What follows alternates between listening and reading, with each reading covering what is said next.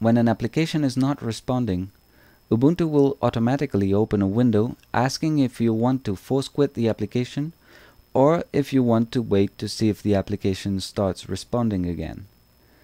When you force quit an application, you will lose unsaved changes, so it's good to wait for a while if you haven't saved your work.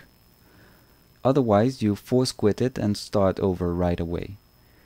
If for some reason this window doesn't appear and you can't quit the application, you can use the system monitor to shut it down. In principle, a system monitor is there just to give you information about your computer. On the System tab, you can see basic information about the operating system and the hardware. On the Resources tab, you can view a live graph of the usage of your CPU, your RAM memory, and your network. On the File System tab, you can view your hard disks.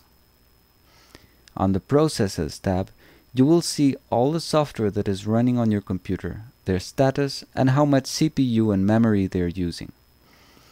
When an application is stuck, you can search in this list the process that is not responding.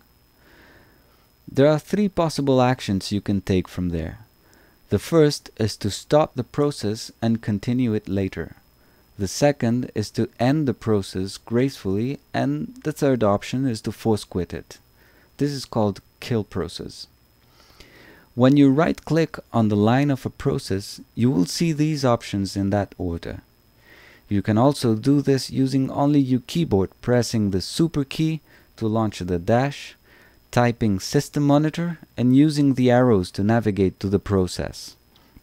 The shortcut to stop the process is Ctrl S, to continue Ctrl C, to end Ctrl E, and to kill Ctrl K. As soon as the process stops or disappears from this list, you can continue or relaunch your application and it should be working as it was before. If you accidentally quit an important application, restart your computer and all software will be up and running again. The risk of quitting applications from the system monitor, though, is to lose unsaved changes in your documents. On the next video, we will talk about getting more specific answers with Ubuntu Offline Help.